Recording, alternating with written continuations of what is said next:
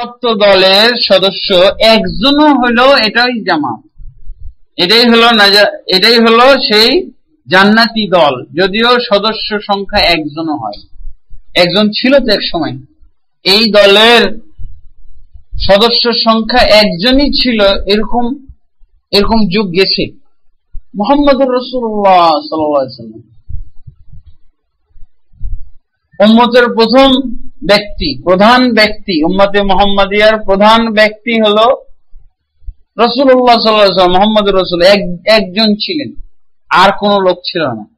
তারপরে আস্তে আস্তে ইবনু মাসুদ রাহ সেটাই ব্যাখ্যা করে বলছেন, হুম আহলুল হাক্কি ওয়ালাউ কুনতা ওয়াহিদান। বলছে, জামাত বলতে উদ্দেশ্য হলো হক এবং সঠিক চর্চাকারীদের দল সঠিকপন্থী হকপন্থীদের দল ওলাও কুনতা ওয়াহিদান, যদি একজনও তুমি হও, সংখ্যায় একজনও হলে এটাই দল। লাখ লাখ কোটি কোটি হয়ে গেল ওটা কিন্তু দল নয়। এটা সেই নাজাদপ্রাপ্ত দল নয়। নাজাদপ্রাপ্ত দল সংখ্যায় একজনও হইতে পারে। ইবন মাসুদ বক্তব্য অনুযায়ী হুমাহার হাক্কি, এরা হলো হকের অনুসারী ওলাও কুনতে ওয়াহেদান, যদিও একজনও সদস্য থাকে। তার মানে এখানে তাহলে হজৈফরকে আল্লাহ রসুল যেটা বললেন যে এক জামাত এবং এক আমির যদি না থাকে, তাহলে আল্লাহ রসুল বলছেন যে তুমি বহু জামাত এবং বহু আমির এগুলো থেকে বিচ্ছিন্ন হয়ে যাও। এখন হজৈফর হলেন সেই জামাত। যাকে বিচ্ছিন্ন হয়ে যেতে বললেন যে তুমি সব দল এবং সব সব আমির থেকে, সব আমির থেকে বিচ্ছিন্ন হয়ে যাও। এই বিচ্ছিন্ন লোকটাই কিন্তু হিয়াল জামা। ইবনু মাসুদ রাজান মাপকাঠি অনুযায়ী, তাহলে হজৈফর রাজিউল্লাহ এরকম যুগে উনি হলেন জামাত এখান থেকে আমরা শিক্ষা পাই যে যখন এক এক জামাত এবং এক আমিরের নেতৃত্বাধীন না থাকে মুসলমানরা তখন তখন বহু জামাত এবং বহু আমির, বিশিষ্ট দলগুলো থেকে যারা বিচ্ছিন্ন থাকে, তারাই হলো জামাত। বহু দল এবং বহু আমির থেকে যারা বিচ্ছিন্ন থাকে, তারা হোজাইফা রোজান সদস্য। এবং তারাই হলো সেই জামাত, যাদের ব্যাপারে আল্লাহ রসুল বলছেন কি যে হিয়াল জামা আর একটা কি বলছেন আল্লাহ রসুল? অন্য অন্য হাদিসের সংজ্ঞা। হুম মা আনা আলাইহিল সাহাবি তারা হচ্ছে ওই দল, আমি এবং আমার সাহাবায়ে কেরাম আজকের দিনে যেই আদর্শের উপরে, যার উপরে, যেই পথের উপরে প্রতিষ্ঠিত আছি, এর উপরে যারা থাকবে কেমত পর্যন্ত। কুল্লুহা হ্যাঁ ভিতরে সবগুলো জাহান নামে সবগুলো নরকবাসী ইল্লা ফিরকাতুন ওয়াহেদা, একটি বাদে। সেটা কি? আল্লাহ রসুল অন্য এক হাদিসে বলছেন যে, হুম্মা আনা আলাইহিল ইয়ৌমা ওয়াসহাবি তারা হচ্ছে আমি এবং আমার সাহাবায়ে কেরাম আজকের দিনে যে পথের উপরে প্রতিষ্ঠিত আছি, এর উপরে যারা প্রতিষ্ঠিত থাকবে। আল্লাহ আল্লাহ রসুল এবং তার সাহাবাগন কিসের উপরে প্রতিষ্ঠিত ছিল? কোরআন এবং সুন্নার উপরে। তখন কোরআন এবং সুন্না ছাড়া ইসলামের অন্য কিছু মানে আধার ছিল না। কোরআন, সুন্না এই দুইটা ছাড়া সাহাবাই অন্য কিছু তখন দেখেননি। এবং আল্লাহ রসুল সাল্লাম এই কোরআন সুন্নার ভিতরেই মানা আলাইহি ওয়াসহাবিকে পাওয়া যাবে, সেটা আল্লাহ রসুল অন্য এক হাদিসে বলে দিয়েছেন। তারা তুফিক তাজিল্লু মা তামাসসাকতুম বিহি। তোমাদের ভিতরে আমি দুটি জিনিস ছেড়ে গেলাম। এই দুটিকে যতক্ষণ পর্যন্ত আঁকড়ে ধরে থাকবে, ততক্ষণ পর্যন্ত তোমরা গুমরা হবে না পথভ্রষ্ট হবে তার মানে গুমরাহির সময়, পথভ্রষ্টতার সময় সঠিক পথে থাকার একমাত্র ব্যবস্থা হলো এই দুটিকে আঁকড়ে ধরা। এই দুটিকে আঁকড়ে ধরতে হবে কোরআন এবং সন্না যেই দুটির কথা আমরা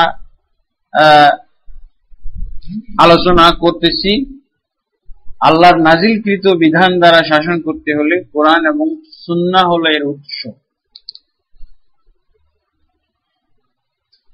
আলহামদুলিল্লাহ। এই দুটিকে আঁকড়ে ধরার অর্থ হলো এই যে দুটির সাথে তিনটি না মিশানো। যদি দুটিকে আঁকড়ে ধরা, তার মানে দুইটির সংখ্যা ঠিক রাখা। যদি আমি দুটির সাথে তিনটি মিশাই, তাহলে কিন্তু আমার কি অভ্রান্ত থাকার যে নিশ্চয়তাটা, সেই নিশ্চয়তা ক্ষুণ্ণ হয়ে যায়। আল্লাহ রসুল যে নিশ্চয়তা দিচ্ছেন, সেটা কি? মা তামাসাক্তুম বিহিমা। যদি এই দুটিকে আঁকড়ে ধরতে পারো, আঁকড়ে ধরার অর্থ হলো এই দুটির ভিতরে সীমাবদ্ধ থাকা। যখনই দুটির সাথে তিনটি মিশানো হবে, তখন কিন্তু এই নিশ্চয়তা আর থাকবে না, যেটা মুসলমান সমাজ করেছে। মুজহাব, মুজহাবকে মেনে নিয়ে, মুজহাব বলতেছে, মুজহাব মানা ফরজ। কোরআন, সুন্নার তাগিদ নাই মুজহাব মানা ফরজ। যদি কোরআন সুন্নার যেভাবে তাগিদ এসেছে এইভাবে তাগিদ না দিয়ে মুজহাব মানার গুরুত্ব মুসলমান এখন বেশি দিয়ে চলেছে। যার জন্য তাদের ক্ষেত্রে আল্লাহ রসুল সাল্লামের যে অভ্রান্ত থাকার নিশ্চয়তা নিশ্চয়তা ক্ষুণ্ণ হয়ে গেছে। মজহব এখন চার মজহব আমরা চার মজহব মেনে নেওয়ার কারণে এবং মজহব গুলোকে কোরআন সুন্নার চেয়ে বেশি মর্যাদা দেওয়ার কারণে মুসলমানদের ভাগ্যে যা ঘটার ঘটে গেছে। বিভক্তির শেষ নাই। প্রথমত আমরা যদি চার মজহাবকে মানা ওয়াজিব মনে করি, এটার অর্থই তো হলো যে মুসলমানদের চার দলে বিভক্ত হওয়া ওয়াজিব। বিভক্ত হওয়া ওয়াজিব যদি হয় তাহলে আল্লাহর এই ওয়াজিব আমরা কীভাবে পালন করব? যেখানে আল্লাহ তো বড় কথা ঐক্যবদ্ধ থাকাকে ওয়াজিব বলছেন। জামিয়ান তোমরা সকলে একতাবদ্ধ ভাবে আল্লাহর রুজ্জুকে ধরো। তা আল্লাহ ঐক্যবদ্ধ থাকাকে ওয়াজিব ফরজ করে দিচ্ছেন। তো এই ফরজ আমি কীভাবে মানবো যদি চার ফরজ মানি একসাথে? তাহলে তাহলে আমাদেরকে হয় বলতে হবে, চার দলে ঐক্যবদ্ধ হওয়া ওয়াজিব। চার দলে তো কখনো ঐক্যবদ্ধ হওয়া যায় চার দলে ঐক্যবদ্ধ, এটাই বিভক্তি। এটাই হলো দলাদলি, এটাই বিচ্ছিন্নতা। আবার বলতেছি এটা ওয়াজিব। তো এখান থেকে আমাদের তামাসুক ছুটে গেছে। যখন আমি মুজহাবের প্রতি এরকম তাগিদ দিচ্ছি, তখন কোরআন সুন্নার তামাসুক আঁকড়ে ধরার শর্তটা বহু আগেই ক্ষুণ্ণ হয়ে গেছে। কোরআন শূন্য আঁকড়ে ধরা এবং আল্লাহ রসুলের যুগে সেই দিন যা ছিল ওর উপরে যদি প্রতিষ্ঠিত থাকার শর্ত থেকে থাকে, তাহলে শর্ত তো ক্ষুণ্ণ হয়ে গেছে বহু আগে মুজহাব মানা ওয়াজিব বলার সাথে সাথে এবং এর উপরে আমল আমল চালু হওয়ার সাথে সাথেই তো ওগুলো শর্ত ক্ষুণ্ণ হয়ে গেছে। অতএব তাহলে আমাদের ভাগ্যে এখন বিভ্রান্তি আর গুমরাহি ছাড়া আর কিছু আশা করতে পারি না। শুধু তাই নয়, এক এক মুজহাবে আবার বহু তরিকা মানাও ওয়াজিব বলা হয়। নকশবন্দিয়া চিস্তিয়া কাদেরিয়া মুজাদ্দিদিয়া সাজেলিয়া তিজানিয়া কত কি চরমনায় তরিকার কি বলে ভেদে মারেফত ইয়াদে খোদা এর ভিতরে বলছে যে, জান্নাত লাভ করার জন্য এবং জাহান্নাম থেকে বাঁচার জন্য একশো ছাব্বিশ তরিকা। কোরআন সুন্নার কথাটাই আসল না। একশো ছাব্বিশ তরিকা। আল্লাহ নাজির করলেন এক তরিকা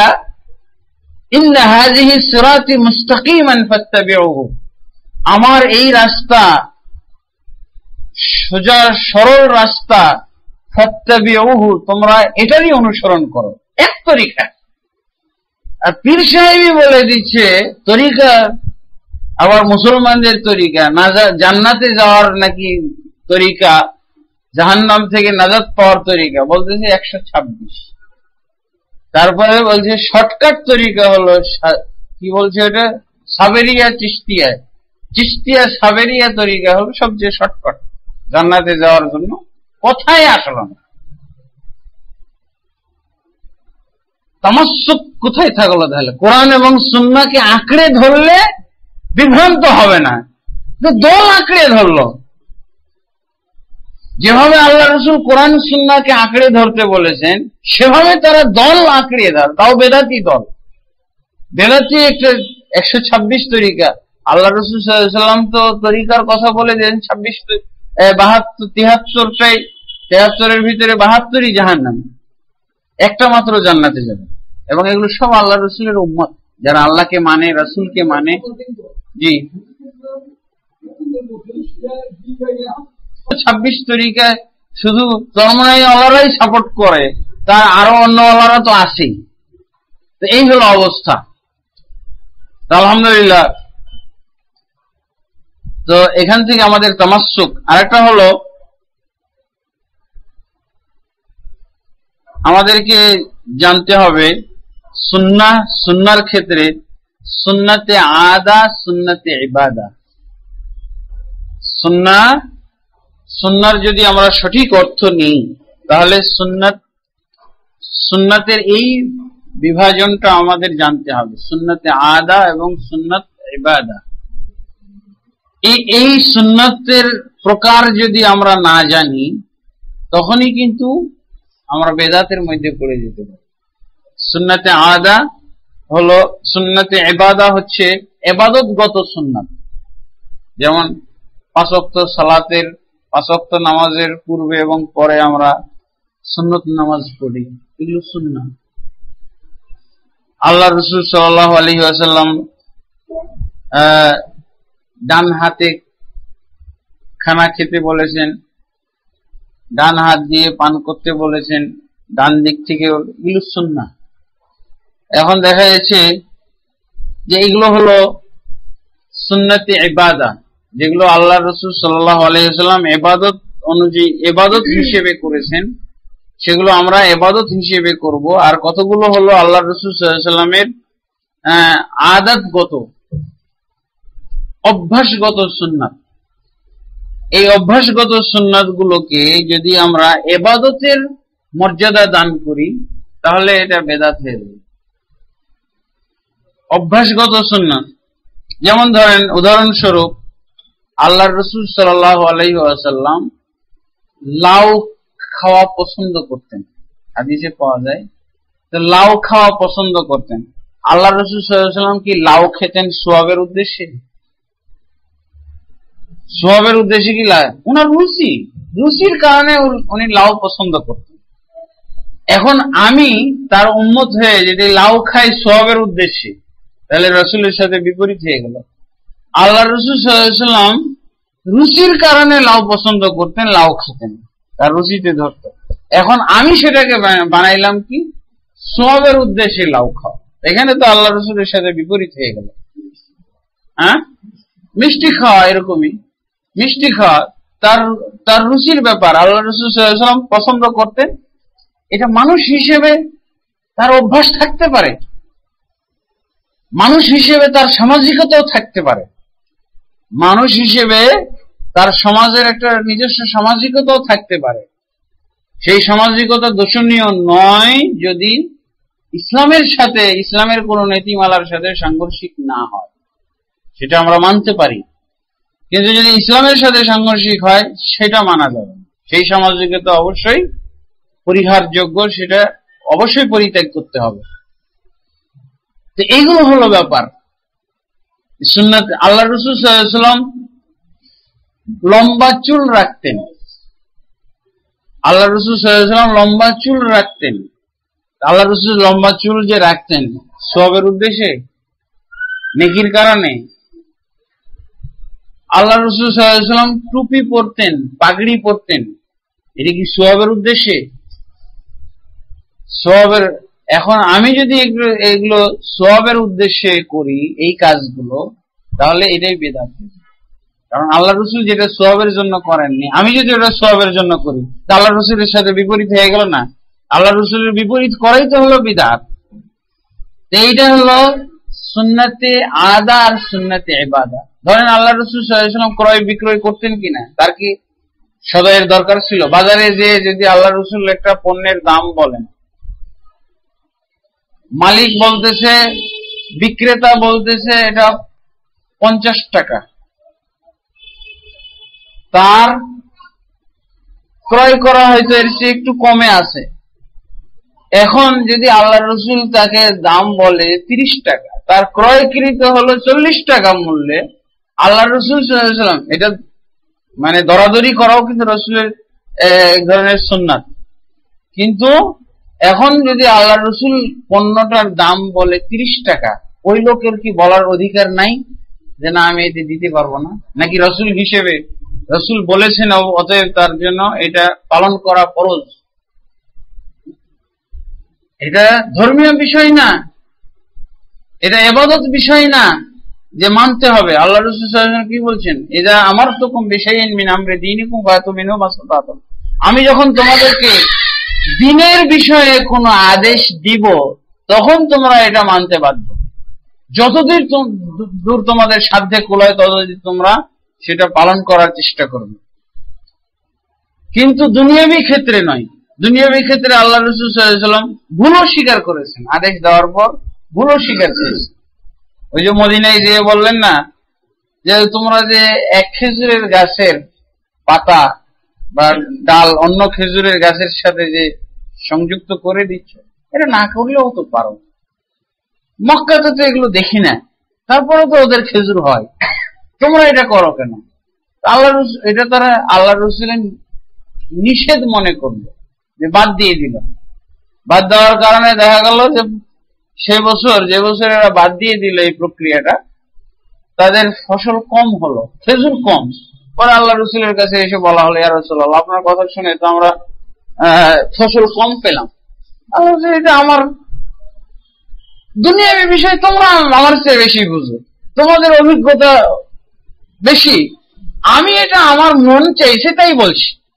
এটা আল্লাহ রসুল সাল্লাম নিজেই বললেন যে, এটা আমার অভিজ্ঞতা নাই, আমি এটা দুনিয়াবি ব্যাপার। এই যে আমার তো কম বিষয় মিন আমরি দুনিয়া কুম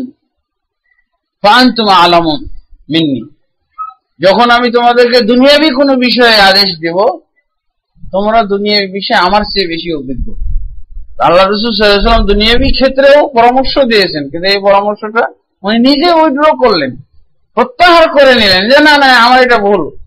তোমরা যা করো, যেভাবে বেশি ফসল হবে ওটাই করো। দুনিয়াবি বিষয়ে তোমরা আমার চেয়ে বেশি অভিজ্ঞ। এখন দুনিয়াবি বিষয়ে আল্লাহ রসুল একটা পরামর্শ দিল, সেটা তো ছেড়ে যদি আমি দিনের মতো করে, এবাদতের মতো মনে করে পালন শুরু করে দিই এটা এক ধরনের বেদা এবং এটা বাধ্য নয়। যেমন ওই যে পণ্য ক্রয় বিক্রয়ের ক্ষেত্রে দেখালাম এটা ঘটেছে সাহাবাহিক গ্রামের সাথে। জাবের আল্লাহর কাছে তার ঘোড়াটা কিনে চাচ্ছেন আল্লাহ আল্লাহ রসুল। বুঝি আর জাবের বেনি তুমি তোমার এই বাহনটা আমার কাছে বিক্রি করে দাও। জাবের রাজা কি বলছেন? যে আমার প্রয়োজন আছে, আমি নিজের প্রয়োজনে এটা ব্যবহার করতে চাই আমি এটা বিক্রি করব না। এদিকে আল্লাহ রসুলের বিপরীত করা হলো? আল্লাহ রসুলের অবাধ্যতা করা হলো? না, এগুলো হলো সুন্নাতে আদা। অভ্যাসগত ব্যাপার। এটা লেনদেনের ব্যাপার। এটা দুনিয়ার সাথে সম্পর্কযুক্ত। আল্লাহ রসুলের নিতে হবে কোনটা? হালালের মধ্যে সীমাবদ্ধ থাকো, হারামে যেও না। এখন এই হালালটার ব্যবহার বিভিন্ন এবং প্রক্রিয়া নানান ধরনের এটা তোমরা করতে পারো। বিভিন্ন ভাবে এটার ব্যবহার করতে পারো।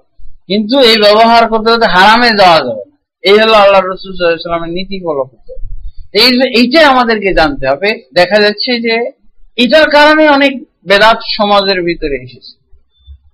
হ্যাঁ। আল্লাহ রসুল সাল্লাম দস্তরখানে বসে খেয়েছে এখন আমি চেয়ার টেবিলে বসে খেতে পারব না। সে দেশের আঞ্চলিকতা এখনও এরকম, ওরা চেয়ার টেবিলে খায় না। এখনও বসে বসেই খাই দিই এটা তাদের আঞ্চলিকতা। লম্বা জামা পরা লম্বা জামা পরা, আল্লাহ রসুল, আমাদের সমাজে বলা হয় সুন্নতির লেবাস। পীর মুর্শিদের দলেরা এই লম্বা জামা পরাকে সুন্নতি লেবাস সুন্নতি লেবাস বলতে কিছু এটা তো আবু জাহালেরও সুন্নত। আবু জাহাল, আবু আবু লাহাব, এরাও তো লম্বা পোশাকই পরতো। এরাও এরাও যে টুপি পাগড়ি পরতো। টুপি পাগড়ি কিন্তু ওরাও পরতো। এটা আল্লাহ রসুলের সুন্নত না। এটা হলো আঞ্চলিকতা। ওই দেশে রোদ্রের তাপ বেশি, যত মোটা কাপড় মাথায় দেওয়া যাবে, তত তাপ থেকে বাঁচা যাবে। এবং ওই দেশে ঘাম নাই। এই জন্য আপনি যত মোটা কাপড় ব্যবহার করবেন, কোনো সমস্যা নাই। ঘাম বের হলে তখন বিরক্তির কারণ। অন্যথায় আপনি যত মোটা এবং যত ঢাকবেন শরীর, তত আপনি তাপ থেকে বেঁচে গেলেন, রৌদ্রের প্রখরতা থেকে বেঁচে গেলেন। এই কারণে এটা আঞ্চলিক পোশাক হলো এটা আবুল আহাব আবু জাহাল ওরাও পড়তো আল্লাহ রসুলও পড়তেন। হ্যাঁ এখানে পাগড়ির ব্যাপারে কিছু ফজিলতের হাদিস শোনা যায়। সেগুলো হলো, পাগড়ি পরে নামাজ পড়লে নাকি সত্তর গুণ সব বেশি হয়। হাদিসটা জাল। জাল হাদিসের কিতাবে পাওয়া যায়। হ্যাঁ? মিসক করে অজু মিসক করে কেউ যদি অজু করে নামাজ পড়ে, তাহলে সত্তর গুণ সব বেশি। মেসক করা অবশ্য সুন্নাতে এবাদার মধ্যে এসে গেছে। কিন্তু এই যে জাল হাদিস দ্বারা ফজিল একটা আদাত বা অভ্যাসগত সুন্নাত এবাদতগত সুন্নতে পরিণত হয় যখন আল্লাহ রসুল নির্দেশ দেন বা ফজিলত বর্ণনা করবেন যদি ফজিলত বর্ণনা করেন আল্লাহ রসুল সাল্লাম তাহলে ওইটা এবাদতি সুন্নাতে পরিণত হবে। যেমন মেসওয়াকের ব্যাপার, আল্লাহ রসুল নির্দেশ দিয়েছেন, হম, ফজিলত বর্ণনা করেছেন। তারপরে দাড়ির ব্যাপার, চুলের ব্যাপারে কিচ্ছু বলেননি। আল্লাহ রসুল তিন প্রকার চুল রাখতেন। হ্যাঁ? লিম্মা, জুম্মা, অফরা। সেই বখারির মধ্যে এসেছে। কিন্তু কোথাও কোনো হাদিসে আল্লাহ রসুল কাউকে নির্দেশ দেননি যে তোমরা চুল রাখো আমার মতো করে। বড় বড় চুল রাখো, বড় বড় চুল রাখা। অথবা ফজিলত বর্ণনা করেননি যে বড় চুল রাখলে এই ফজিলত, এই মর্যাদা, এই নেকি। কোথাও বলেননি। যদি অভ্যাসগত কোন সুন্নতের ব্যাপারে আল্লাহ রসুল নির্দেশ দিয়ে দেন, ফজিলত বর্ণনা করেন, তখন ওটা এবাদতি সুন্নত হয়ে যায়। যেমন দাড়ির ব্যাপার। চুল, আল্লাহ রসুল চুলের ব্যাপারে কোনো ফজিলত বর্ণনা করেননি আর কোনো নির্দেশও দেননি। কিন্তু দাড়ির ব্যাপারে নির্দেশ দিয়েছেন, বলছেন, আফুল্লাহ খালিফুল মুশরিক তোমরা দাড়ি বাড়াও আর মুশরিকদের বিরোধিতা করো। তাহলে এটা এখন এবাদতি সুন্নত। এটা এবাদতি সুন্নত, অবশ্যই আমাদেরকে এই সুন্নত পালন করতে হবে। এই সুন্নতকে আমাদের ঐচ্ছিক মনে করলে চলবে না। অবশ্যই এটা এবাদতি সুন্নত, সেই হিসেবে আমাদেরকে মর্যাদা দিতে হবে। তারপরে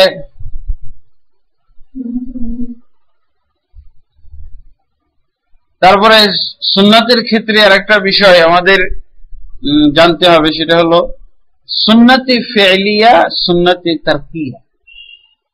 সুন্নতি ফেলিয়া মানে সেটা হলো আমলগত সুন্নত। আমলগত সুন্নত আর একটা হলো বর্জনগত সুন্নত। আল্লাহ রসুল সাল্লাম যা আমল করেছেন, যা করতে বলেছেন, যা অনুমোদন দিয়েছেন, এগুলো সব পালন করা হলো সুন্নত। এটা হলো আমলি সুন্নত। এটা হলো আচরণগত সুন্নত। আল্লাহ রসুল নিজে করেছেন অথবা করতে বলেছেন অথবা অনুমতি দিয়েছেন, এগুলো সব হলো আমলগত সুন্নত। আর আল্লাহ রসুল সাল্লাম যা নিষেধ করেছেন, যা নিষেধ করেছেন অথবা যা ছেড়ে দিয়েছেন, যা নিজে আমল করেননি, অথবা কাউকে করার নির্দেশ দেননি, অনুমোদন দেননি, এগুলো না করা হলো সুন্নাত। এগুলো হলো আমলগত এটাই হলো আমলগত সুন্নত আর হলো বর্জনগত সুন্নত। তাহলে আল্লাহ রসুল সাল্লাম যা করেননি তা না করার সুন্নত। আল্লাহ রসুল সাল্লাম যা করেননি, এর ভিতরে অনেক কিছু আসতে পারে। আল্লাহ, এক নম্বর তো আল্লাহ রসুল সাল্লাম যা নিষেধ করেছেন তা যেমন আল্লাহ রসুল ঈদের মাঠে আজান দেননি, আজান দিতে বলেননি, অনুমোদন দেননি, একামত দেননি, একামত দিতে বলেননি। নামাজের পূর্বে কোনো খুতবা দেননি, খুতবা দিতে বলেননি। অতএব এগুলো বর্জন করা সুন্নাত, আমল করা বেদাত। এমনি ভাবে আল্লাহ রসুল সাল্লাম যা আমল করেছেন, সেটা ত্যাগ করার কথা যদি কেউ বলে, তাহলে এটা এই, এটা হবে, এটাও বেদাত। ত্যাগ করার কথা। এক্ষেত্রে দেখা যায় একটা আমল, আল্লাহ রসুল আমল করেছেন সেটা আমল করার সুন্নাত। ত্যাগ ত্যাগ করা বেদাত। এমনি ভাবে আল্লাহ রসুল সাল্লাম যেটা ত্যাগ করেছেন, সেটা হলো ছেড়ে দেওয়াটাই সুন্নাত। করাটা বেদাত তখন। আল্লাহ রসুল যেটা ছেড়ে দিয়েছেন হয়তো বা সেটা গতিশীল একটা আমল, কোন মনসুখ আমল না। তারপর আল্লাহ রসুল যখন ছেড়ে দিয়েছেন, সেটা ছেড়ে দেওয়াটা সুন্নাত। দেখা গেছে যে আল্লাহ রসুল সফরের সময় সফর অবস্থায় রোজা ছিলেন। সাহাবাই কেরামও রোজা ছিলেন আল্লাহ রসুল নিজে রোজা।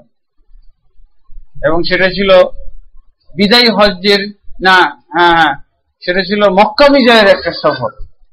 আল্লাহ রসুল সাল্লাম মক্কার কাছাকাছি এক জায়গায় যাওয়ার পর, আসর, আসরের সলাপ পড়ার পর পানি নিয়ে ডাকলেন, উঁচু জায়গায় দাঁড়িয়ে পানি পান করে রোজা ভেঙে দিলেন। রোজাটা ছেড়ে দিলেন এখন আল্লাহ রসুল সাল্লাম যে আমল ছেড়ে দিবেন, সে আমল মানে তখনকার জন্য ছেড়ে দিবেন, সে ছেড়ে দেওয়াটাই হলো সুন্না তো সাহাবাই কেরামও ছেড়ে দিলেন, আল্লাহ রসুলের দেখা দেখি। কিন্তু কিছু কিছু সাহাবি তারা রোজা ছায় না তারা মনে করছে, আল্লাহর জন্য রোজা রাখছি, কষ্ট হইলেও করি। আল্লাহ রসুলের কাছে খবর দেওয়া হলো যে রসুল আল্লাহ কিছু কিছু মানুষ রোজা ছাড়ে নাই। তখন আল্লাহ রসুল তাদের সম্পর্কে মন্তব্য কি করলেন? অসত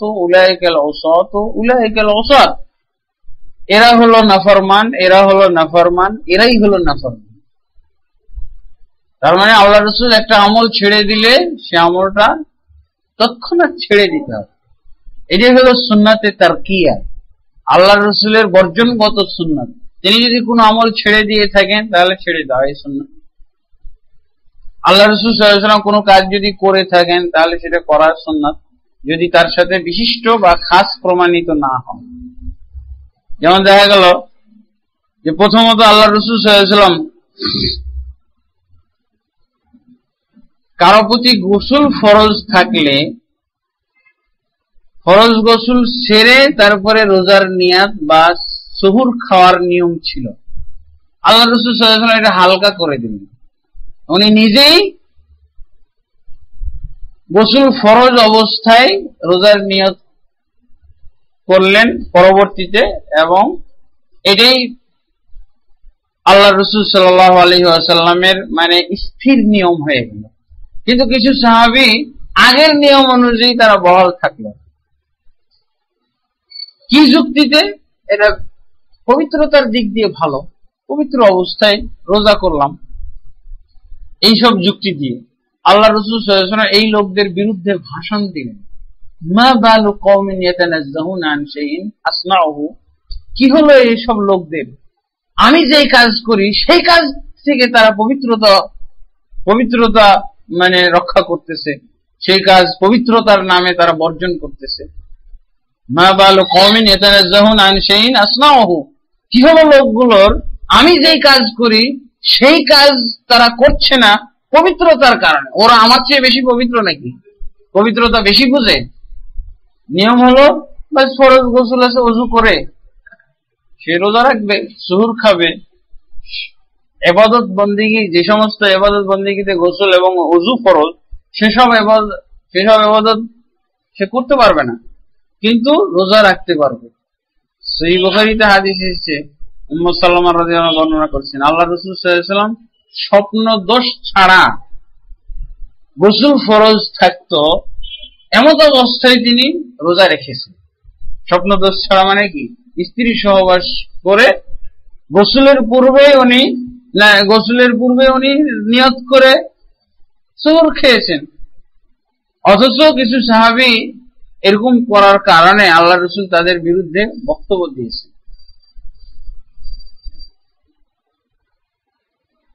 স্বপ্নীয়তে আল্লাহ রসুল কিছু কিছু সাহাবি তারা চাইছিল যে তারা কি আমলটাকে বলে খাসি হয়ে যাওয়া। আরবি ভাষায় সেটা হলো মানে আর একটা ভাষা হলো, ভালো ভাষাটা আমার এখন আসছে না। সেটা হলো অন্ডকোষ বের করে ফেলা যাতে করে তারা আর কোন স্ত্রীর হ্যাঁ হ্যাঁ স্ত্রীর প্রয়োজন বোধ না করে, এরকম অবস্থা। রগ কেটে ফেলা।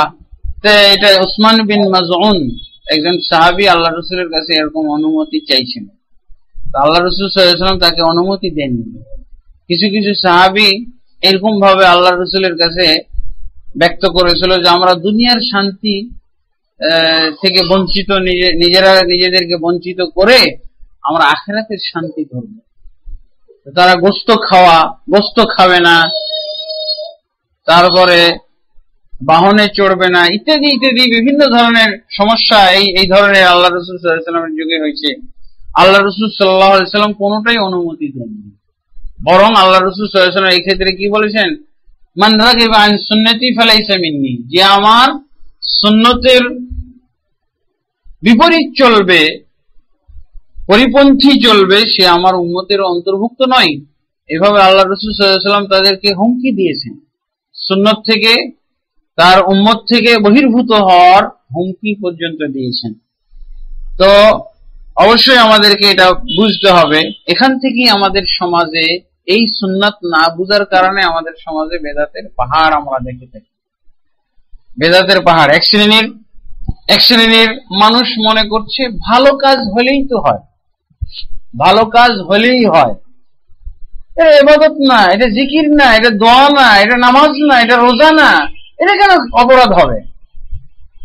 আল্লাহ রসুল যদি না করে থাকেন কোনো ভালো কাজ আমার দৃষ্টিতে ভালো, মোটা দৃষ্টিতে ভালো মনে হচ্ছে, কিন্তু আল্লাহ রসুল যদি না করে থাকেন, আল্লাহ রসুল যদি এটা করার নির্দেশ না দেন, আল্লাহ রসুল সাল্লাম যদি ওটার অনুমোদন না দেন, তাহলে ওটা কেমন পর্যন্ত কখনোই করা চলবে না। এইটা হলো, এই হলো সুন্নাতি তারকিয়া। আল্লাহ রসুল সাল্লাম করেননি, এখন আমাদের সমাজে হচ্ছে কি হাসানা। বেদাতকে দুই ভাগে ভাগ করেছে। এই সুন্নতের তারকিয়া এবং আমলগত সুন্নত এবং বর্জনগত সুন্নত না বুঝার কারণে আমাদের সমাজে কি হচ্ছে সুন্নাতে না বেদাতে হাসানা বানাইছে। মানে কাজটা ভালো, মিলাদ পড়া বেদাতে হাসান। বেদাতে হাসানা হয়ে গেল। দোয়া মোনাজাত করা, নামাজের পরে সম্মিলিত ভাবে মোনাজাত করা বেদাতে হাসানা। আল্লাহ রসুল সাল্লাম যা করেননি, সেটা অবশ্যই বর্জন করতে হবে। আমরা ওই তিন সাহাবির হাদিস থেকে কি শিক্ষা পেয়েছি? যে তিন সাহাবি বললেন যে, আমি সারা জীবন তাহাজুদের নামাজ পড়ব, এক সেকেন্ড রাত্রে ঘুমাবো না, বিছানা গ্রহণ করব না, সারা রাত তাহাজুদে কাটাবো। এবং এটা সারা জীবন, সে সারা রাত তাহাজুদে কাটাবে। দ্বিতীয় ব্যক্তি কি বলেছিল? আমি সারা জীবন নফল রোজা করব। কখনো আমি রোজা ছাড়বো না। তৃতীয় জন কি বলেছিল? আমি মহিলাদের সাথে বিবাহ বন্ধনে আবদ্ধ হব না। এগুলো কি সব ভালো কাজের কথা বলছেন আর আল্লাহ রসুল এদের সকলকে কি বলেছেন? মান রাগে বা সুন্নতি ফেলাইছেন যে আমার সুন্নত থেকে বিমুখ হবে, সে আমার উন্মতের অন্তর্ভুক্ত না। কাজগুলো কি হাসানা না? ভালো না? সারা রাত তাহাজুদ পড়বে এটা হাসানা না? ভালো কাজ। কখনোই ভালো নয় যদি আল্লাহ রসুল সাল্লাম না করে আল্লাহ রসুল তাহাজুদ পড়তেন, কিন্তু এখানে রসুলের সাথে বিপরীত হলো কি করে? আল্লাহ রসুল সাল্লাম ঘুমাতেন এবং তাহাজুদ পড়তেন। এ ঘুম মাইনাস করে ফেলেছে। এটা পরিবর্তন আল্লাহ রসুলের সাথে। আর এই পরিবর্তন পরিবর্তন এবং পরিবর্তন দুটেই পাওয়া গেছে। পরিবর্তন কি? আল্লাহ রসুল সাল্লাম ঘুমাতেন এ ঘুমাবে না। আল্লাহ রসুল সারা রাত নামাজ পড়েনি সারা রাত নামাজ পড়বে। এটা বৃদ্ধি করে ফেলবে। এই জন্য দেখা যাচ্ছে আল্লাহ রসুল সাল্লামের সুন্নাতের উপরে যদি আমরা মানে যথাযথ আমল করতে চায় তাহলে এই এই নিয়ম আমাদেরকে মানতে হবে, সুন্নাতে ফেলিয়া আল্লাহ রসুলের আমলগত সুন্নত যা করেছেন, করতে বলেছেন, অনুমোদন দিয়েছেন, তা আমি করব। কোনো বাধা নেই, কেউ বাধা দিতে পারবে না। আর যা তিনি করেননি, এই না করাটা দুই ভাগে বিভক্ত। একটা হলো উনি আমলই করেন আমি, অনেক আমল তো আমি বানিয়ে বলতে পারব, আল্লাহ রসুল যা করেন। আল্লাহ রসুল ছয় অক্ত নামাজ পড়েননি। আমি ছয় অক্ত চালু করব আল্লাহ রসুল দশ অক্ত করেননি, পাঁচ অক্ত করেছে। আমি যদি, আমি কি দশ অক্ত চালু করতে পারব না? না করার মধ্যে তো এগুলো আছে। আল্লাহ রসুল প্রতি সালামের পর আল্লাহ নামাজের প্রতি সালামে আমি যদি বলি, আসসালাম আলাইকুম রহমতুল্লাহ আল্লাহ জান্না আমি যদি এই দোয়াটা যোগ করে দিই এই তো আল্লাহ রসুল না করা একটা, আল্লাহ রসুল করেননি এমন হাজারো আমল আমি বের করতে পারি। হাজারো আমল আমি বের করতে পারব। প্রতি পদে পদে আমি আমল বের করব। আল্লাহ রসুল এই জন্য এক কথাই সেরে ফেলব, যা করেননি তা না করার সময় এখন যত ভালোই সিস্টেম মনে হোক, ভালোই মনে হোক সুন্দর মনে হোক, এটা কোনো কথা না। আমি এখন নিয়ম জারি করলাম যে আমরা সবাই নামাজে ছাড়া। এখন এরকম হাসানা করে তো অনেক আমল। দেখা যাচ্ছে ঘুম থেকে উঠেই জিকির আজকার শুরু হয়ে গেল মাইকে। ভালো কাজ করতেছে। আজানের পূর্বে দূর লাগিয়ে দিল। একামতের পূর্বে সবই তো ভালো কাজ। ভালো কাজের শেষ আছে নাকি? শেষ করে দিতে হবে সব ভালো কাজের। রসুল সাল্লামের সাথে শর্ত যুক্ত করে। ওই কাজগুলো মোটেও ভালো কাজ নয় যেগুলো আল্লাহ রসুল করেন। আল্লাহ রসুল করেন, এরকম বহু কাজ আমি পাবো। যেমন এই যে বললাম সলাৎ বিরুল ওয়ালিদাইন আপনারা পড়েন। সলাৎ গাউসিয়া, চাঁদপুর এলাকায় দেখলাম ওরা গাউসিয়া, গাউসুল আজম, নাউজুবিল্লাহ। গাউসুল আজম তো কোনো মানুষকেই বলা যায় না। শির। বড় ফরিয়াদ কবুলকারী। এটা আল্লাহ ছাড়া কেউ হইতে পারে? অথচ আব্দুল কাদের জিলানি। উনার নামে একটা নামাজ চালু করছে। চাঁদপুর এলাকায় দেখে আসলাম সাজলিয়া তরিকার লোকেরা এগুলো পড়তেছে। নামটা কি? সালাদ গৌসিয়া গৌসুল আজম পীরের সব রেশানির জন্য নামাজ, নতুন সিস্টেম একটা দেখে আসলাম। এরকম সালাদ বিরুল ওয়ালিদাইন, পিতামাতার সদাচরণ উপলক্ষে নামাজ। হ্যাঁ? আমি কত এরকম হাজার হাজার কিন্তু তালিকায় দেওয়া আছে বেদাতের কিতাবগুলোতে। আল্লাহ রসুল না করেছেন এমন আমলের কোন শেষ আছে? এখন আমি সেগুলো গবেষণা করে, আল্লাহ রসুল সাল্লাহ সেই পথটা এত সুন্দর করে বন্ধ করে দিয়েছেন। একটা হাদিসের ভিতরে এসে, এসেছে ইবনু খুজাইমার ভিতরে, সহি ইবনু খুজাইমার ভিতরে হাদিসটা। সালাবাতুল খুশানি রাজি আল্লাহ বর্ণনা করছেন। আল্লাহ রসুল বলছে ইন আল্লাহ ফরদ আলাইকুমুল ফরায়দা ফলা فلا تنتهكوها وحد حدودا فلا تعتدوها আল্লাহ আল্লাহ রসুল বলছেন আল্লাহ তবরকতলা অনেক আমল ফরজ নির্ধারণ করেছেন এই ফরজ গুলো লঙ্ঘন করা না ওয়াহাদ্দা হুদুদান এবং অনেক সীমারেখা আরোপ করেছেন আল্লাহ। ফলাতে আচার দুহা সেই সীমারেখা গুলো তোমরা অতিক্রম করে যেও। তারপরে আল্লাহ রসুল বলছেন, ওয়াসাকাতা নাসিয়া রহমাতুম বিকুম মিন নিসিয়ানি। এবং আল্লাহ তবরকতলা অনেক বিষয় বর্ণনা করতে ছেড়ে দিয়েছেন। অনেক বিষয় বর্ণনা করতে ছেড়ে দিয়েছেন। রহমাতান বিকুম তোমাদের প্রতি দয়া বশত করোনা বশত ভুল বশত নয়। যে ভুলে যে মনে হয় এটা। মিলাদটা মনে হয় ভুলেই গেছে। এই আমলগুলো মনে হয় ভুলেই গেছে। হয়তো বা করেছিলেন, বর্ণনা করা হয়নি। কত কি আছে এখানে আমরা পাই। আল্লাহ রসুল এই হাদিসটা যেন এসব এসব যুক্তির জ্বর কেটে ফেলে এই জন্য এই হাদিসটা আল্লাহ রসুল বর্ণনা করছেন কি? ওয়াসাকাতান আসিয়া এবং অনেক বিষয় চুপ রয়ে গেছেন, নীরব থেকে গেছেন। রহমতম বেকুম, তোমাদের প্রতি রহমত বশত দয়া বশত মিন গাইরি নিসিয়ানিন। এগুলো নিষেধ করতে ভুলে যাওয়ার কারণে নয়। এগুলো লাগবে না। আল্লাহ রসুল বলছেন ফেলাতা বাহাসু আনহা। এরকম আল্লাহ রসুল করেননি, আল্লাহ বলেননি, এরকম কোন ভালো কাজ তোমরা খুঁজতেও যাও না। আমল তো দূরের কথা, এরকম গবেষণা করতে তাহলে নিষেধাজ্ঞা চলে আসলো না? আল্লাহ রসুল যা করেননি, যা বলেননি ধর্মীয় ক্ষেত্রে, যার অনুমোদন দেননি, তা যে নিষিদ্ধ, বোঝা গেল এই হাদিসটা একেবারেই স্পষ্ট হাদিস। এগুলো এসব বিষয়ে যে সমাধান দেওয়া নাই তা নয়। এ বিষয়ে এটাই সমাধান। সাকাতান আসিয়া অনেক বিষয় থেকে নীরব থেকে গেছেন, চুপ থেকে গেছেন। হা, না, কিছুই বলা হয়নি। করো করো না, কোনো কিছুই বলা হয় এগুলোর ব্যাপারে কি করতে হবে? আল্লাহ রসুল ফলাতে বাহাসু আনহা এরকম বিষয় খোঁজ করতেই যেও না, তালাশ করতেই যেও না, আমল তো দূরের কথা। এটাই হলো বর্জনগত সুন্নাত। কেউ যদি এই ধরনের কোন আমল করে ইসলামের ভিতরে এবং বলে এটা ভালো তো, করলে অসুবিধা কি? সবে বরাতে আমি রোজা রাখব, অসুবিধা কি? সারা রাত তাহাজ পড়ব, এটা কি খারাপ কিছু? সাকাতান আসিয়া। ওই সমস্ত বিষয়ের অন্তর্ভুক্ত যা আল্লাহ রসুল না তার মৌখিক বর্ণনার মাধ্যমে, না কোনো আমল আচরণের মাধ্যমে আমাদেরকে এর কোন নজির দিয়ে গেছেন। অতএব না, আলী রবি আল্লাহ এক লোককে দেখতেছেন ঈদগাহের মাঠে, এসে নিয়ত করে নামাজ শুরু করছে।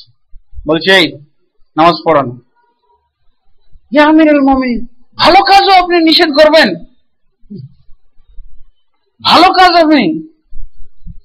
আলী রাজি বলছেন তুমি কি জানো? আল্লাহ কোন আমলের সব দিবেন না, যতক্ষণ পর্যন্ত সে আমলের নজির রসুল প্রতিষ্ঠিত না করবেন।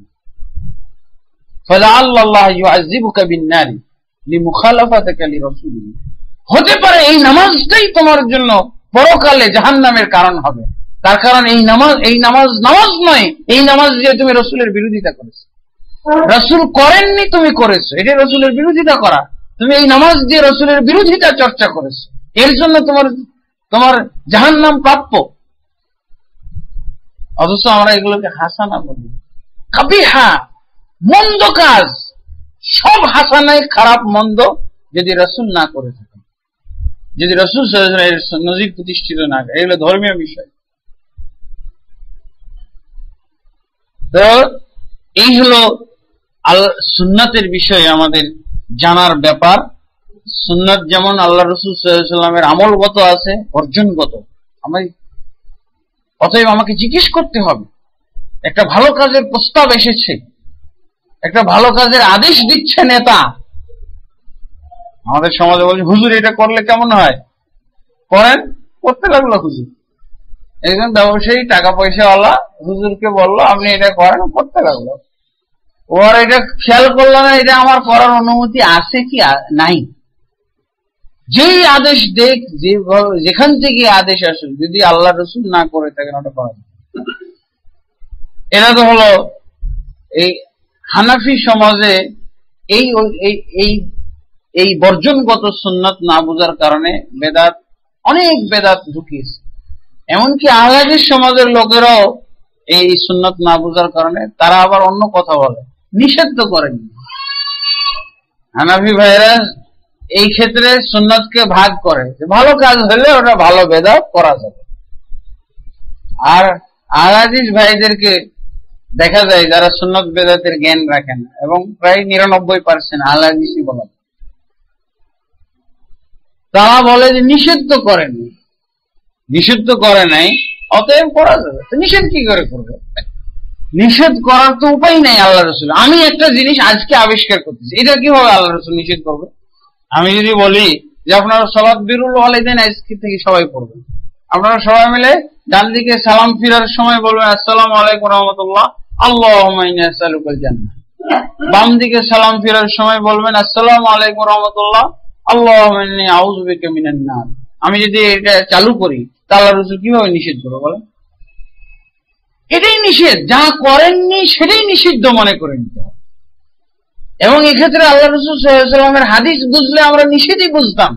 যদি সঠিকভাবে আল্লাহ রসুলের হাদিসটা বুঝতাম। হাদিসটা কি? আল্লাহ রসুলের সুন্নাত মানে আমিলা আমালান, লেইসা আলাই আমরনা ফরদ্দিন যে ব্যক্তি কোনো আমল করবে, সে আমলে যদি আমাদের নির্দেশ না থাকে ফৌরাদ্দন এটা পরিত্যাজ্য। অতএব যে কোনো আমলের ক্ষেত্রে আপনি যদি আপনাকে খুঁজতে হবে নির্দেশ। আপনাকে খুঁজতে হবে নজির, নির্দেশনা। আপনাকে খুঁজতে হবে অনুমোদন। পাওয়া গেল না কোনোটাই। আল্লাহ রসুল করেছেন, পাওয়া গেল না। আল্লাহ রসুল করতে নির্দেশ দিয়েছেন, পাওয়া গেল না। আল্লাহ রসুল কাউকে করতে অনুমোদন দিয়েছেন, পাওয়া গেল না। এবার আল্লাহ রসুল বলছেন ফহরাদ্দুন যদি আমাদের নির্দেশনা না পাওয়া যায় সেই আমলটাই ধরে নিতে হবে, নিষেধ।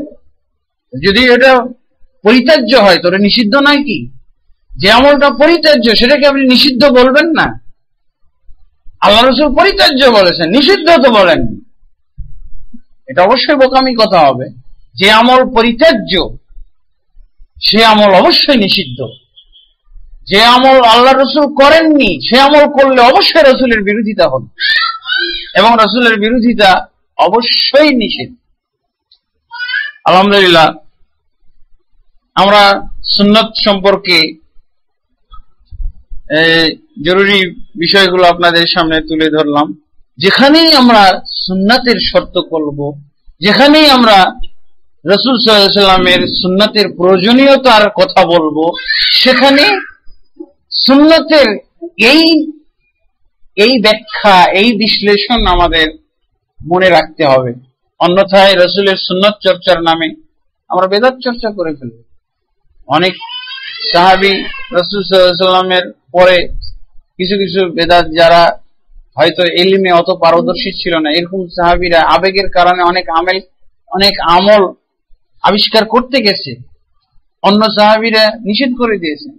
এমনকি আল্লাহ রসুলের যুগ আবেগের কারণে অনেক আমল আবিষ্কার করতে গেছে। যেমন এই এই তিনজন সাহাবির কথা।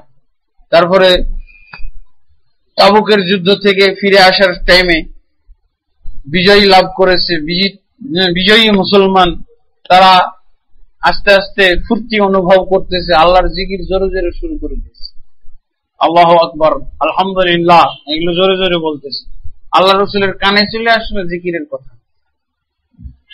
মনে ফুর্তি আছে, জোরে জোরে জিকির শুরু আল্লাহ রসুল বললেন আর বেউ আলা তোমরা নিজেদেরকে শান্ত করো। কেন নিজেদেরকে কষ্ট দিচ্ছ এরকম উঁচু আওয়াজে জিকির করে? হঠাৎ করে কি তোমাদের আল্লাহ এখন বধির হয়ে গেছে? বধির আল্লাহকে শুনাইতে চাও, জোরে জোরে জিকির করে? জোরে জিকিরটা দোষণীয় জিকির দোষণীয় না। জোরে জোরে করেছে, এটা হলো রসুলের তরিকা এটা এটা নেই। জিকির আছে, জোরে জিকির নেই। এখানে আমাদের পার্থক্য বুঝতে হবে। জিকির বেদাত না। জোরে জিকির করা হলো বেদাত। সম্মিলিত করা হলো বেদাত। আল্লাহ রসুল এদেরকে বললেন হ্যাঁ? আরবেও আলা আঙ্কুশ হ্যাঁ মনে মনে। ও উচ্চ স্বরে। তারপরে কোন শব্দগত জিকির কখনোই জামাতবদ্ধ ভাবে হবে না। শব্দগত জিকির, আমলগত জিকির, এই যে যখন এটা, আমরা সব একসাথে জিকিরের মাজলিসে আছি। এটা কিন্তু জিকিরের মাজলি জিকিরে আপনারাও জিকিরে আছেন। কথা বলছি আমি, কিন্তু আপনারাও সব জিকিরের মজলিসের সদস্য। কিন্তু কোন উচ্চারণগত জিকিরে শরিক হওয়ার কোনো বিধান নাই। উচ্চারণগত জিকির। আমলগত জিকিরে শরিক হওয়ার ব্যাপার আছে। আপনারা সবাই আমার শরিক। আমি বলছি, আপনারা শুনছেন। কি? জিকিরের কথা। কোরআন সুন্নার কথা। কোরআন জিকির। উত্তম জিকির সুন্না হলো তার ব্যাখ্যা, বিশ্লেষণ। আলহামদুলিল্লাহ। তারপরে সাহাবা একেরাম অনেক সময় ইয়ে করেছেন। আলহামদুলিল্লাহ। সাহাবা একেরাম এরকম দেখেছেন, জোরে জোরে জিকির করতেছে, তারা যে বাধা দিয়েছে। জিকির করার সুন্নাত, জোরে করার সমস্যারে করা বেদা কারণ, এটাই বর্ণনা করেন এটাই ছেড়ে দিয়েছেন আল্লাহ রসুল। যা আল্লাহ রসুল যেভাবে ছেড়ে দিয়েছেন, সেটা সেভাবে ছেড়ে দেওয়াই হলো সুন্নাত। তার বিপরীত করাই হলো বেদাত। এভাবে আমাদেরকে সুন্নত বুঝতে হবে। এভাবে বুঝলে আমরা সুন্নতের মাধ্যমে আল্লাহ রসুল সাল্লামের ছেড়ে যাওয়া দিন পেলাম। আল্লাহ তোমার আল্লাহ রসুল সাল্লামের ছেড়ে যাওয়া বিধান পেলাম। অন্যথায় কি হবে? আল্লাহ রসুল আল্লাহ রসুল সাল্লামের দিনের নামে তার বিধানের নামে বেদাত পাবো আমরা। বেদাত চর্চা করুন। আল্লাহ আমাদেরকে তৌফিক দান করুন। সন্না যাতে আমরা যথাযথভাবে বুঝতে পারি এবং সে অনুযায়ী আমল করতে পারি আল্লাহ আমিন। আস্তাগফিরুল্লাহ লি ওয়া লাকুম ওয়া লিসাইরিল মুসলিমিন ফাস্তাগফিরু ইন্নাহু হুয়াল গফুরুর রহিম। সুবহানাক প্রশ্ন লেখেন না এটা দেখলে উত্তর হবে না নির্বাচন হবে। কি করে হবে? আহ, কি করে হবে হ্যাঁ? ইসলামী রাষ্ট্রের খলিফা আগে তো ইসলামী রাষ্ট্রের পরিবেশ লাগবে হ্যাঁ? ইসলামী রাষ্ট্রের খলিফা তো আল্লাহ নাজিল করবে না। ইসলামী রাষ্ট্র গঠনের পরিবেশ আগে সৃষ্টি করতে হবে। তারপরে যখন পরিবেশ সৃষ্টি হবে, তখন খলিফা নির্বাচনের মানে বিষয় আসবে। তো পরিবেশটাই আগে আমাদের পরিবেশটা হবে কোরআন, সুন্নার ইলিম অর্জন, কোরআন, সুন্নার ইলিম অর্জন করে সেই ইলিম অনুযায়ী আমল এবং ইলিম আমল করার পর দাওয়াত। এই তিনটা কাজের মাধ্যমে ইসলামী রাষ্ট্রের পরিবেশ সৃষ্টি হবে। ইলিম, আমল, দাওয়াত। দৌড়ঝাঁপ করে না। কোরআন, সুন্নার ইলিম অর্জন না করে না। দল করে নয়। দল করে আর সংগঠন করে আর দল ও সংগঠনের পিছনে সব সময় ব্যয় করে দিয়ে কোরআন, সুন্না, ইলম অর্জনেরই আর সময় নেই। এসব দৌড়ঝাঁপ আল্লাদের মাধ্যমে ইসলামী রাষ্ট্রের কখনো পরিবেশ আসে না। আমাকে সব বাদ দিয়ে কোরআন, সুন্নার ইলিম অর্জন করতে হবে, কারণ এখানেই সব ব্যবস্থা রাখা আছে। তারপরে সেগুলো আমল করতে হবে, এগুলোর দাওয়াত করতে হবে। এই মাধ্যমে আপনি যদি আর কিচ্ছু না তাকান ডানে বামে, আপনার ইসলামী রাষ্ট্রের পরিবেশ সৃষ্টি হয় তখন আপনি ইসলামী রাষ্ট্রের পরিবেশের জন্য কি করবেন? কয়েকটা পন্থা আছে। এটা হলো সুরা পন্থা। সুরা, যারা বিজ্ঞ ইসলামের, যারা কোরআন এবং সুন্নার জ্ঞানের যারা বিজ্ঞ ব্যক্তি হবে, তারা বসে একজনকে নির্বাচন করবে। যে ইনি হলেন এই ইসলামী রাষ্ট্রের খলিফা। এই বিজ্ঞ ব্যক্তিরা, পণ্ডিত ব্যক্তিরা, তারা যাকে নির্বাচন করবে, জনগণ সবাই তাকে নির্বাচন করবে। তার কারণ জনগণ আসলে এরকম তারা মানে প্রতিযোগিতায় নামে না। জনগণের অত চিন্তা ভাবনা করা হয় না। গণতন্ত্রের কারণে ওদেরকে এগুলো অধিকার বোঝানো হয়েছে যে তোমার ভোট আর ওই ডক্টর সাহেবের ভোট একই। হ্যাঁ যার জন্য ওরা দৌড়ঝাঁপ করে। সুরার মাধ্যমে নির্বাচন হবে। এরপরে যখন পরবর্তী খলিফা হবে, তখন আরও কিছু নিয়ম আছে। খলিফা খলিফা নির্বাচন করে যাবেন যিনি প্রথম খলিফা হলেন, তিনি পরবর্তী খলিফাকে নির্বাচন করে যাবেন। দরকার হলে পাঁচ সাত বছর তার সাথেই নায়েব হয়ে কাজ করবে। হ্যাঁ আগেই ঘোষণা থাকবে, আমার মৃত্যুর পর ইনি খলিফা। আগেই ঘোষণা করে এটা হলো ইসলামী পদ্ধতি। হুম। অথবা তিনি নিজে আবার ওই একই সিস্টেমে সুরা নির্বাচন করে যাবেন যে এই এই লোকগুলো আমার মৃত্যুর পর তারা খলিফা নির্বাচন করবেন যাকেই নির্বাচন করবেন উনি খলিফা হবেন এবং জনগণ তাকে মেনে নেবে। আর একটা হলো,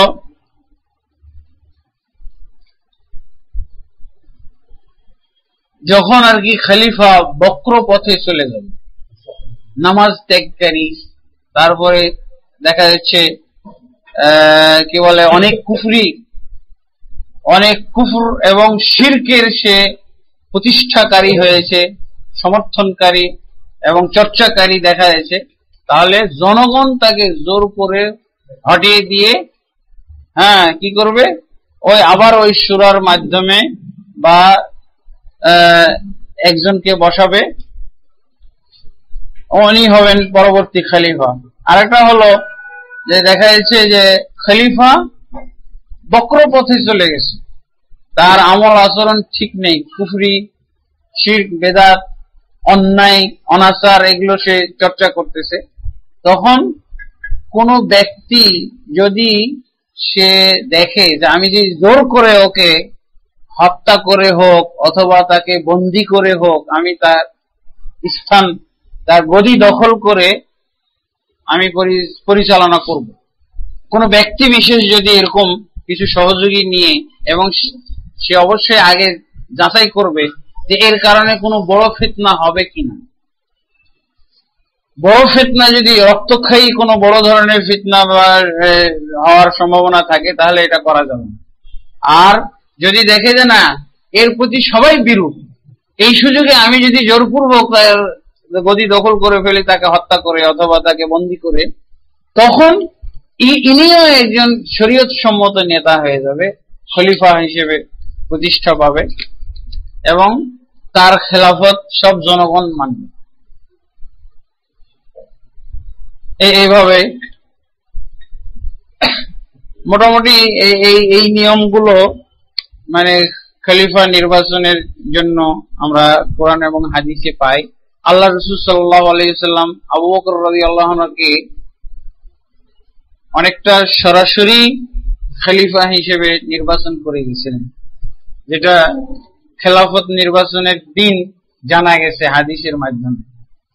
আল্লাহ রসুল নামাজে যখন ইমামতি করতে পারছিলেন না, তখন আবু বকর রাজিয়ালকে তার পরিবর্তে ইমাম নিয়োগ করেছিলেন।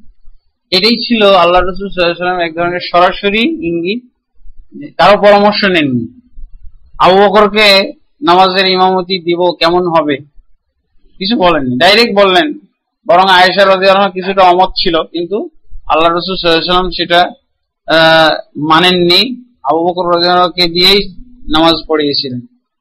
আরও ছিল নাকি প্রশ্ন? রসুল সাল্লাম কীভাবে ইসলামী রাষ্ট্র প্রতিষ্ঠিত করেছিলেন? তার পদ্ধতি কি ছিল। তার পদ্ধতি ইলম ইলম আমল দাওয়াত। এটাই হলো পদ্ধতি। আমাদের আমাদের দেশের ইসলামী রাজনৈতিক দলগুলোর মূল পার্থক্য কোনটা, যেটা রসুল সাল্লামের হাদিসে পরিপন্থী। আমাদের দেশে ইসলামী রাজনীতিগুলো, তারা চায় গণতান্ত্রিক কায়দায় ক্ষমতা যেতে। এটা এটা হলো, এবং কেউ কেউ বলে ক্ষমতায় যাওয়ার পর ইসলাম কায়েম করবে। এটাই হলো আল্লাহ রসুল সাল্লামের সাথে সাংঘর্ষিক আল্লাহ রসুল সাল্লাম আগে মানুষকে আমলের পথে নিয়ে এসেছেন, তারপরে আল্লাহ রসুল সাল্লাম ক্ষমতায় গেছেন। আগে লোকদেরকে আল্লাহর এবাদত এবং আল্লাহ দ্রোহিতা সম্পর্কে জ্ঞান দান করেছেন। তারপরে এই জ্ঞানের উপরে, এই জ্ঞানের উপরে, আমলের উপরে গড়ে তোলার পর আল্লাহ রসুল সাল্লাম ক্ষমতায় গেছেন। এবং এটা আল্লাহর পক্ষ থেকে দান। আর এরা চাচ্ছে আগে ক্ষমতায় যাব, তারপরে ইসলামের দিকে দেখা হবে। এই জন্য দেখা যায় গণতান্ত্রিক কায়দায় ইসলামের চেষ্টা করতেছে। এটাই হলো মৌলিক। এবং গদি দখলের পরে ইসলামের দাওয়াত ব্যাপকভাবে তারা দিবে, সব বিষয়গুলো বলবে।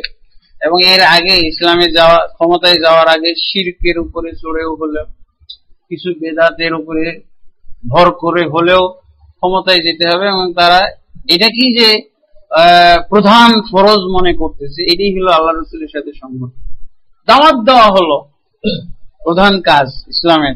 অমা আল্লাহ রসুল ইল্লাল বালাহুল মবিন। এখন যদি আমার ক্ষমতা নাও আসে, নবীদের দাওয়াতি নীতি তো এটাই। তারা আল্লাহর কথা বলে গেছেন, শুনেছে, জনগণ শুনেছে, কখনো শুনে নাই, কখনো হয়তো একজন উন্মত হওয়ার আগে মারা গেছে। জি।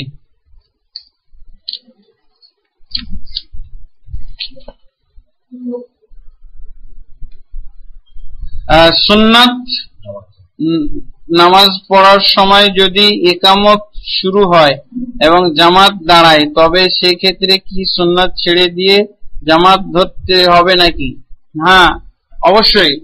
যদি কেউ সুন্নাত পড়ে, বিশেষভাবে সুন্নাতের যদি প্রথম রাকাত না হয়ে থাকে, তাহলে ছেড়ে দিতে হবে। আর যদি সুন্নতের দুরাকাত সুন্নতের প্রথম রাকাত হয়ে যায় থাকে তাকবীর তাহরিমের আগে যদি দ্বিতীয় রাকাত পড়তে পারে হ্যাঁ তাহলে সে পড়ে ফেলবে। অন্যথায় ছেড়ে দিতে হবে। যদি কোনো বেদাতি মসজিদে সালাত আদায় করতে যে সালাত আমি সুরা ফাতেহা শেষ করতে পারি না, এক্ষেত্রে আমি কি সুরা ফাতেহা শেষ না করে রুকুতে যেতে পারি? হ্যাঁ যদি দেখা যায় যে কোনো কোনো কোনো ইমামের পিছনে সালাদ পড়তে যে আপনি সুরা ফাতেহা পড়তে পারছেন না, তার আগেই রুকুতে চলে যাচ্ছে। তাহলে আপনি সুরা ফাতেহা কমপ্লিট না করেই রুকুতে চলে যাবেন তার কারণ, রাকাত পর হ্যাঁ রাকাত পর হলো কি বলে পূর্ণাঙ্গ, রাকাত পর পূর্ণাঙ্গ পন্থা আর রাকাত পর ন্যূনতম ব্যবস্থা। দুইটা উল্লেখ আছে। রাকাত পর পূর্ণাঙ্গ ব্যবস্থা হলো সুরা ফাতেহা, আপনি পড়বেন, সানা পড়বেন তারপরে আর ন্যূনতম ব্যবস্থা হল রুকু পাওয়ার মাধ্যমে।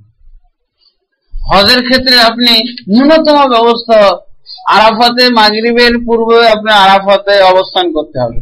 ন্যূনতম অবস্থা হলো কি, যদি ফজরের পূর্বেও এক মিনিট অবস্থান করতে পারেন, হয়ে যাবে আপনার হজ। আরাফাতে অবস্থান ধরা হবে।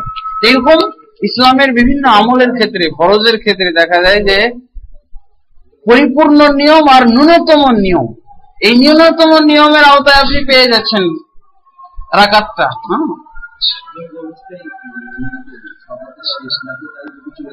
হ্যাঁ?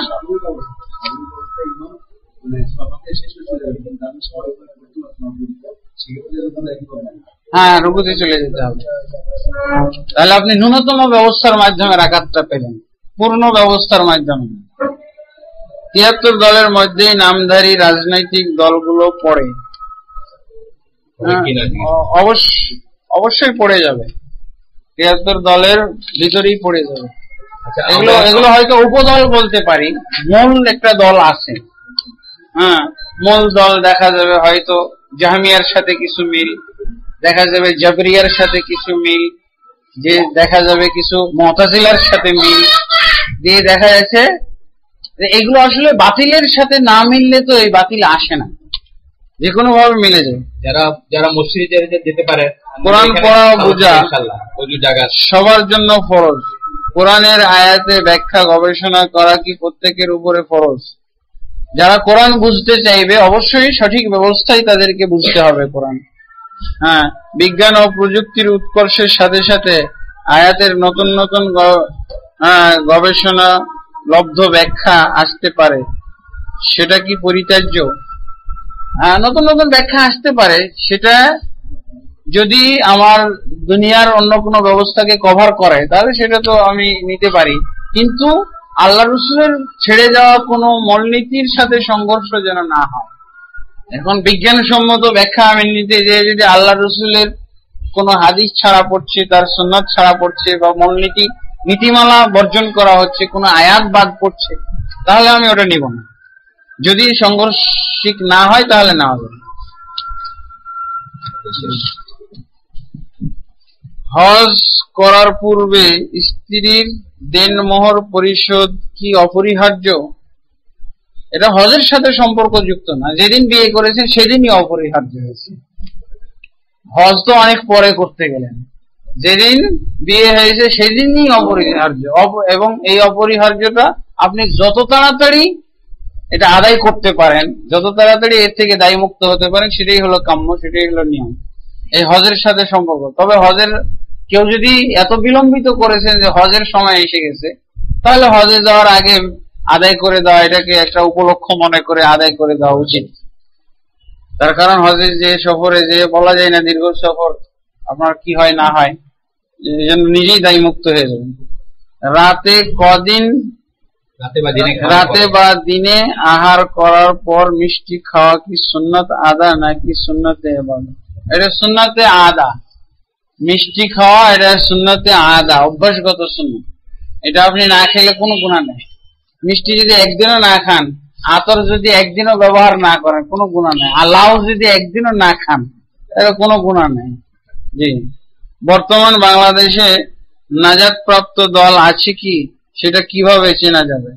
অবশ্যই নাজাদপ্রাপ্ত দল সব জায়গায় সব জায়গায় সর্বদাই থাকবে। এবং এই নাজাদ প্রাপ্ত দল হলো, হুম, নাজাদপ্রাপ্ত দল হলো তারা, যারা বহু দলের সময় কোনো দলে যায়নি। এরাই হলো সেই জামাত। এবং তাদের মাধ্যমে তাদের মাধ্যমে যে ঐক্য আসবে, এটাই হলো খাঁটি ঐক্য। আলহামদুলিল্লাহ। জি তাহলে আমরা সালাতের জন্য প্রস্তুতি নিই। তাই নাকি?